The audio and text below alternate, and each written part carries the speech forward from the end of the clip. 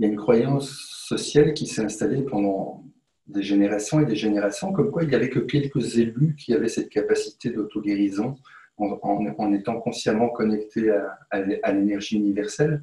Après qu'on l'appelle le Reiki, le Chi, le Prana, le Un, la source, la matrice, la vie, peu importe le nom qu'on lui donne, c'est ce grand tout que les physiciens appellent la, bioénergie qui, qui fait que nous sommes tous interconnectés.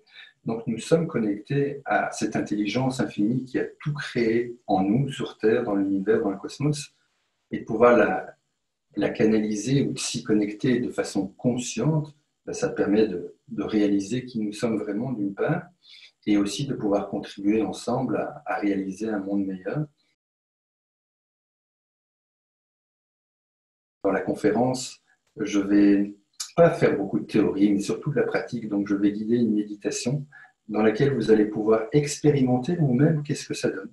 Donc, on va s'entraîner déjà à reprogrammer notre mental, à nous libérer de choses qui n'ont plus rien à faire en nous, à bien nous enraciner, nous ancrer. C'est tellement important aujourd'hui avec le tourbillon de changement qui est autour de nous. Vous savez, au centre d'un tourbillon, il fait calme, et c'est ce que je veux le plus pour vous, c'est que vous soyez calme et solide, bien enraciné et les pieds bien sur terre aussi, dans la réalité de ce que nous avons à vivre comme expérience euh, dans, cette, euh, dans cette vie incarnée, dans cette vie terrestre sur terre aujourd'hui. Et puis, euh, donc, à travers la méditation, je vais vous faire passer par différentes étapes pour être de plus en plus solidement enraciné, bien relaxé, pour être consciemment connecté à l'énergie universelle. Et comme ça, vous aurez l'occasion de le sentir dans vos différents corps.